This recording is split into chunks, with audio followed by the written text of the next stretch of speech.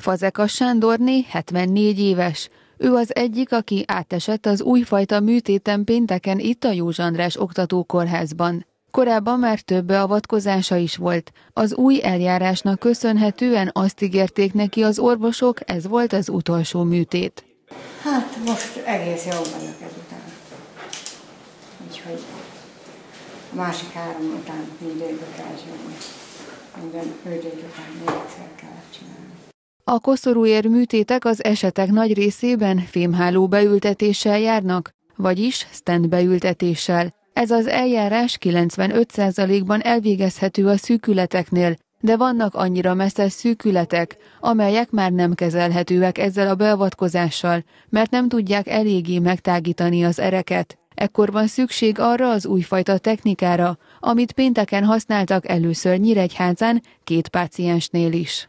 Ilyenkor speciális eljárásra egy fúrókészülékre van szükség, ezt nevezzük rotablációnak, vagy rotációs aterektómiának, amely abból áll, hogy ezt a nagyon messzes szűkületet egy gyémánt szemcsével bevont fúróval átfúrja, és ettől kezdve lesz hely arra, hogy ezeket a balonokat bevezessük, a stentet elhelyezzük, illetve a nagyon messzes gyűrűt, ami nem engedte az ér tágulását, a fúrás kapcsán a vibrációs energia megrepeszti, és ettől kezdve tágíthatóvá válik.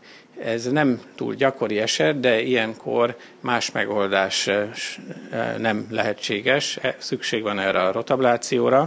A műtétet nem altatásban végzik, így a betegek hallhatták is a fúró hangját, ami az orvos szerint egy fogászati beavatkozás hangjához hasonló.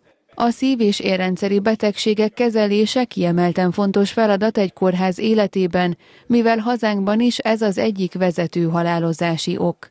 A Józsa András Oktató Kórházban már 2006 óta történik szívkatéterezés. 2008-ban nyílt meg ez a labor, 2015-ben pedig már a tízezredik szívkatéterezést is elvégezték.